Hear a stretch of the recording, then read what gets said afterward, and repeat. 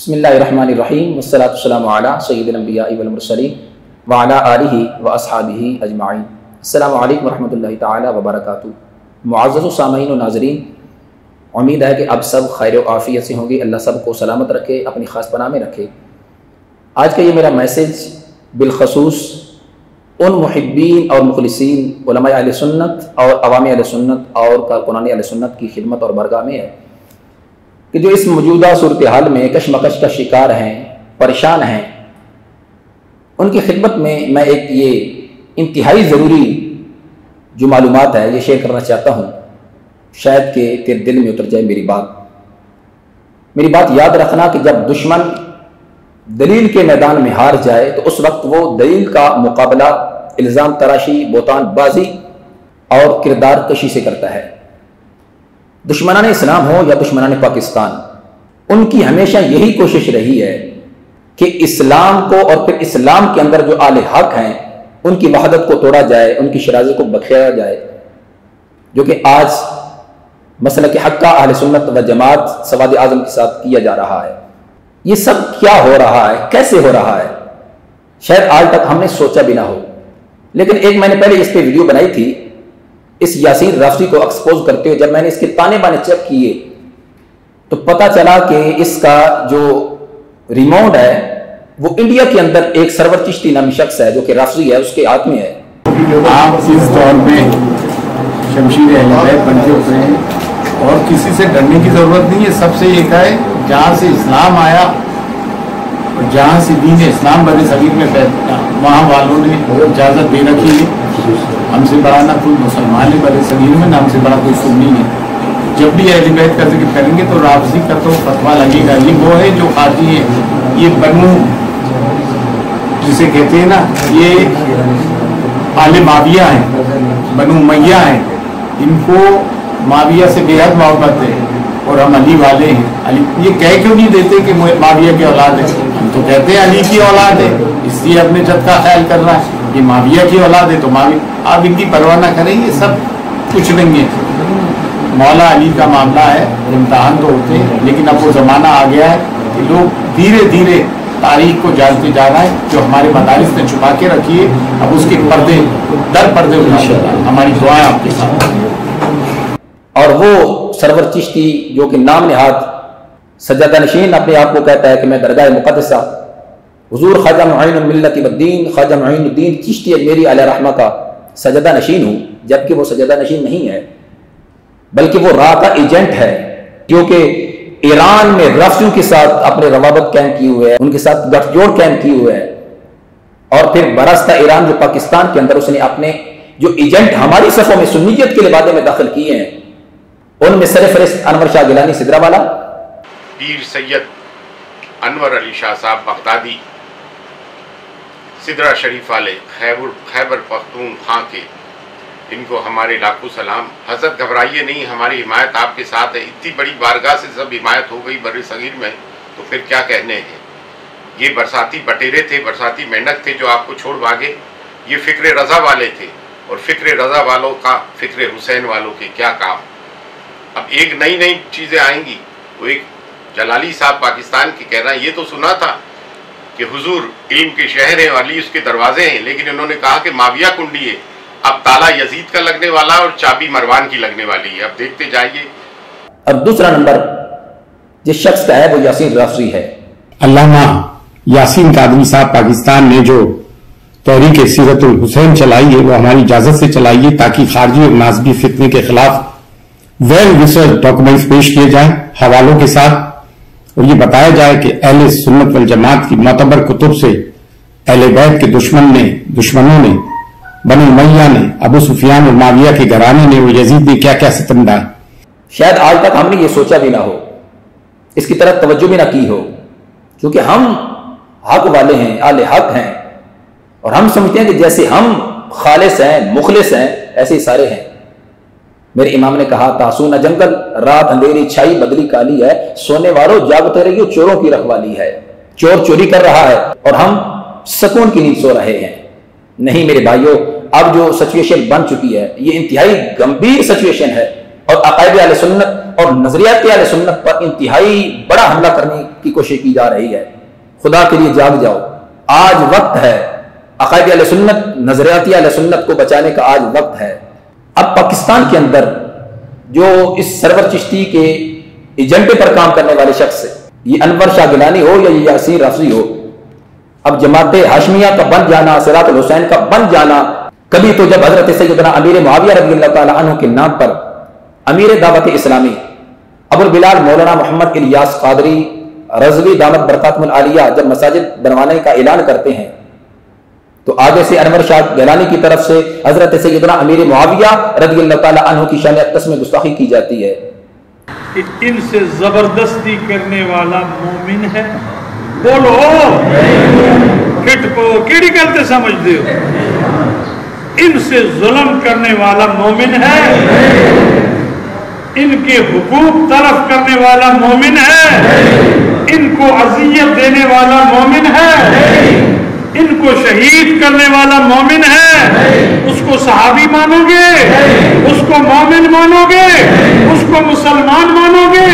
अगर इस दौर में कोई जालिम कोई जंदीक और मलून ये नारा लगाए कि बेकसूर कैसे?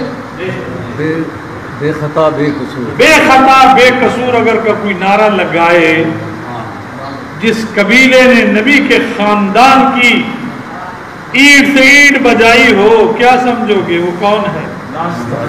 हम में से हो सकते बोलो। जो मौला सलाम के दुश्मनों के कसीदे पड़े वो कहाँ से हुज्जत बन गए? क्या किसी एक सिहाबी का मुझे हवाला बता दो? किसी ने अहले बैतहार के दुश्मनों के कसीदे पड़े हो? ये जो दुश्मनों के अकीदे और नारे लगाने वाले ये बेखुदा के नगारे लगाने वाले, ये सुन्नीयत के लिबाते में खान घुसे हुए हैं।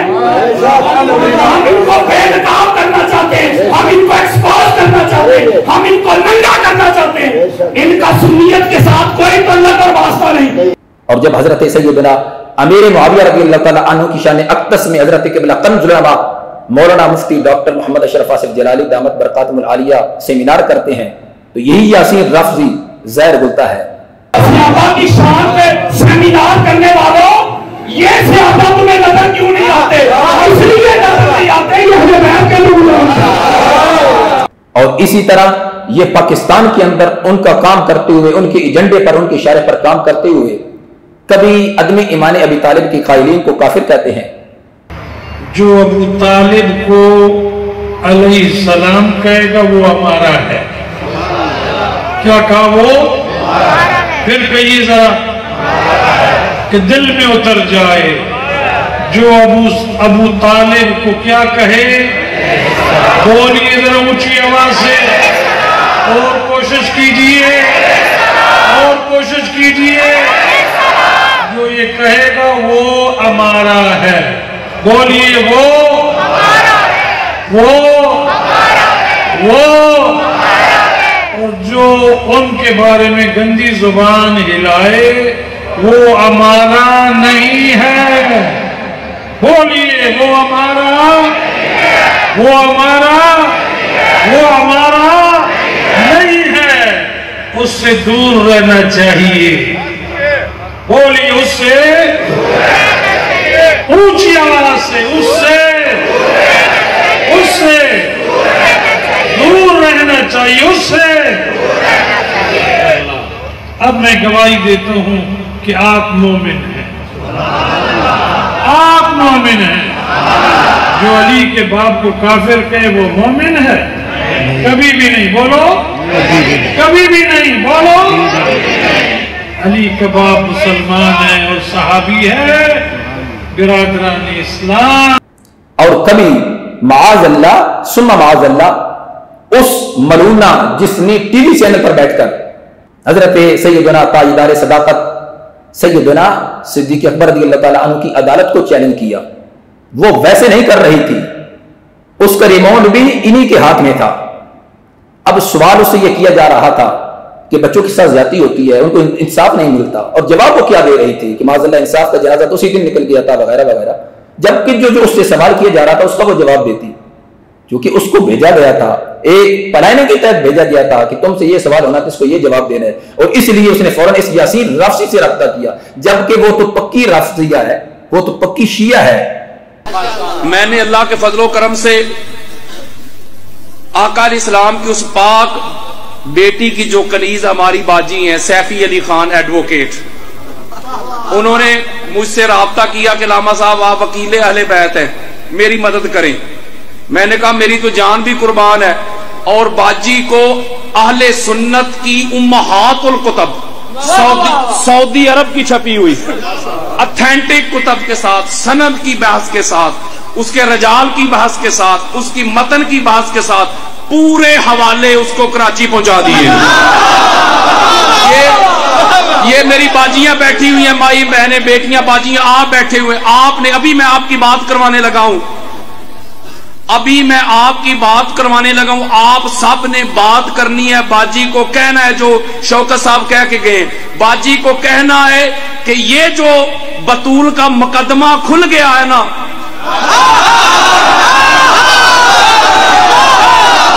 हम सारे जितने भी हैं मर्दों, खातन, हम सारे गवाही देते हैं कि बतूल तब भी सच्ची थी, बतूल आज भी सच्ची है, बतूल कल भी ये मैं अभी अभी अभी आपकी बात करवाने लगा हूँ, मैं एक मिनट में अभी बाजी को मैं, अभी काल मैंने ये डायल कर दी है। हमने बाजी को ये पैगाम देना है, आपका पैगाम जाना चाहिए, उनकी सुने और अपना सुनाए, और ये इधर लिखी जा रही है। नहीं समझे यार। आपकी गवाही अभी लिखी जा रही है इधर। आप गवाही देंगे इधर लिखी जाएगी। ये नंबर डायल हो गया खामोशी इख्तियार करें। अस्सलाम वालेकुम बाजी बाजी हज़ार हा मर्दो खातन आपको सुनना चाह रहे हैं और वो ये भी चाह रहे हैं कि हम चाहते हैं कि हमारी गवाही जो है वो बतूल के इस मुकदमा में कबूल कर ली जाए और हम आपको तनहा नहीं छोड़ेंगे। और उसको इस नीम रफजी से, इस तफसीली से रब्ता करने की क्या ज़रूरत थी? क्या उसके पास उसके जाकिर नहीं थे? उससे उसने रब्ता क्यों नहीं किया? इसलिए कि इस शख्स ने, इस यासीन रफजी ने उसी को तैयार किया हुआ था कि तुम ये काम करो, हम तुम्हारे साथ हैं। और इसलिए इदार सदाकत की अदालत को चैलेंज किया गया। और मजीद जब इन्होंने अपना काम तेज किया तो इस अनवर शाह ने पाकिस्तान के जो सुन्नी आइमा खुतबा हैं, सुन्नी मदारस के फजला हैं, उनको अपने हाथ दावत दी इन्वाइट किया। खाना भी पेश किया सात तोहफे भी पेश किए, पैसों की सूरत में, रकम की सूरत में। वो हमारे उलमा खुश हो गया कि पीर साहब कितने दिल वाले हैं, कितने बड़े जिगरे वाले हैं, उलमा की खिदमत करते हैं। लेकिन उनको पता नहीं था कि ये अपना मकसद निकाल रहे हैं। और फिर इसी तरह इस अनवर शाह ने और इस यासीन रफजी ने अपने उस एजेंडे पर काम करते हुए आज यहाँ तक के आल सुन्नत को आकर के खड़ा कर दिया है कि माजल्ला जिस शख्स ने अकायद सुन्नत, नजरियाती सुन्नत का तहफ़ और दिफा किया, उसी के खिलाफ अवामी सुन्नत को खड़ा करने की नाकाम कोशिश की जा रही है। अगर ये इतने ही आलबैत की मोहब्बत में मुखलिस थे या हैं, दूसरे लोग नज़र क्यों ना आए कि जिन्होंने सैदा खातून जन्नत सैदा तय्यबा ताहिरा सैदा फातिमा तो जहरा सलाम की शान के लिहाज से और जात के लिहाज से जो ऐसे अल्फाज इस्तेमाल किए हैं, ये गुलाम रसूल सईदी साहब, जिनके बारे में नसीरुद्दीन शाह साहब ने अपनी किताब इयानत इस्तियानत की शरी हसीयत के अंदर ये लिखा है कि गुलाम रसूल सईदी वो शख्स है जो मेरे नज़दीक मुहक्क है। उसने अपनी शराह नियामतुलबारी की शरह के अंदर इस बात को लिखा है कि सईदा खतून जन्नत, सईदा तैयबा ताहिरा, सईदा फातिमा जहरा रज़ी अल्लाह का मुतालबा करना, ये शरा नजायज था। आप देख सकते हैं। इस पर क्यों ना गिरफ्त की गई? जो कि मुफ्ती मुंदीब रहमान साहब के मदरसा में, जामिया में शेख हदीस की मसनत पर रहे हैं, हदीस पढ़ाते रहे हैं, आज तक उनके खिलाफ क्यों नहीं आवाज़ उठाई गई? और इसी तरह नसीरुद्दीन शाह साहब ने खुद अपने दीवान में एक शेर लिखा है और उसके अंदर बगावत की नस्बत इमामी अली मकाम, इमाम हुसैन की तरफ़ की गई है। आज तक उनके खिलाफ क्यों नहीं आवाज़ उठाई गई? ये आप देख सकते हैं। नसीरुद्दीन शाह साहब क्या लिखते हैं? पेशे नज़र हसूल न था तख्त ताज का, थी जुल्म के खिलाफ बगावत हुसैन की। बगावत की नस्बत किसकी तरफ़ की जा रही है? अब यहाँ पर भी ताबीली की जाएगी ये माना मुराद है। आज तक उनके खिलाफ क्यों नहीं आवाज़ उठाई गई? ये सारे जो आज जितने भी खुतबा हैं, जो आज जितने भी अपने आप को अलवत की मुहिब कहने वाले हैं, इनके खिलाफ क्यों नहीं आवाज़ उठाई गई? क्या वजह थी, क्या रीजन था, क्या हकीकत है कि क्यों नहीं आवाज़ उठाई गई? और जिस शख्स ने अकायद सुन्नत, नजरियाती सुन्नत का दिफा करते हुए रफजियत और तफजीलियत और खारजियत की जड़ें उखेड़ करके रख दी हैं और चूल्हे हिला करके रख दी हैं। चाहे वो सुन्नी का सच, शिया का झूठ हो, चाहे वो बाग फदक हो, चाहे वो मोहब्बत सेमिनार हो, और चाहे वो शेख सैदना शान अमीर रदी अल्लाह सेमिनार हो। ये सब इन पर कर्ज था। अब चाहिए तो ये था कि वो अदा करते। लेकिन वो तो ना अदा कर सके। लेकिन अवामी अली सुन्नत को इस्तेमाल करके उसी मुहसन सुन्नत के खिलाफ प्रोपोगंडा खड़ा कर दिया गया है। क्या इनको ये नज़र नहीं आया? कि जिस शख्स ने अपने ही इदारा इदारा सरत मुस्तकीम पाकिस्तान की, जो लिल बनात के मदारस हैं, उनके नाम ही सैदा तयबा ताहिरा सैदा खातून जन्नत सलाम आलिया के नाम पर रखे हुए हैं। जामिया फातमिया लिल बनात। और वो शख्स भी जिसने हज़रत सैदा खातून जन्नत सलाम आलिया की अजमत शान, रिफत, मकामों, मरतबे को बयान किया अपने खिताबात के अंदर, अपने लेक्चर के अंदर, यानी जो इजमाली तौर पर आपके मौजूद आम रिकॉर्ड आज भी यूट्यूब पर पड़े हैं। तकरीबन 21 घंटे सिर्फ़ और सिर्फ़ सैदा खातून जन्नत और आलबैत की मुकदस नफूस की अजमत शान को बयान किया गया है। और बुक्स इसके अलावा हैं और ऑडियो मौजूद इसके अलावा हैं। खातम बदाहम, हज़रत सैदा तयबा ताहिरा सैदा खतून जन्नत सैदा फातिमत जहरा रदी अनहा सलाम की शान अक्दस में गुस्साखी करना तो दरकिनार। माजल्ला सुम्मा माजल्ला अलियाजुबिल्ला आप रदी अनहा की शान में गुस्ताखी का सोचना और उस सोच का करोड़वा हिस्सा भी अगर हमारे वाम गुमान ख्याल में आए, अल्लाह करे कि हम तबाह हो जाए उससे पहले। हमें वो सांस ही ना आए कि जिसके अंदर सैदा तैयबा ताहिरा सलाम की मोहब्बत का हम दम ना भरे। फिर भी अपने आप को मुहब बैत कहने वाले हैं। मैं उनसे ये गुजारिश करने वाला हूँ, जो अवामी आल सुन्नत है, जो मुखलसिन और मुहबिन आल सुन्नत है, उनसे ये गुजारिश करने वाला हूँ। खुदा रहा इस सिचुएशन को समझो, इन हालात को समझो। ये अकायद सुन्नत पे बहुत बड़ा हमला किया जा रहा है। ये जो तुम्हें इस्तेमाल कर रहे हैं, खुदा के लिए इनकी चाल को समझो, इनकी साजिश को समझो, इनके प्रापोगंडों को समझो। हम आखिरी सांस तक अकायद सुन्नत, नजरियाती सुन्नत का दिफा करेंगे, फ़िक्र रजा का प्रचार करेंगे। हमें इस बात से कोई डर नहीं। लेकिन हम अवामी सुन्नत आपको ये बता रहे हैं, उस वक्त से पहले बता रहे हैं कि अगर आज फ़िक्र रजा का दिफा न किया गया, अकायद सुन्नत, नजरियाती सुन्नत का तहफ़ न किया गया माजल्ला कल जो हमारे साथ हालात पेश आएँगे, उसके हम खुद जिम्मेदार होंगे, लेकिन उस वक्त हमारे हाथ कुछ भी नहीं आएगा। अल्लाह ताला हमको अकायद सुन्नत का दिफा तहफ़ करने की तोफ़ी रफ़ीक नसीब फरमाए।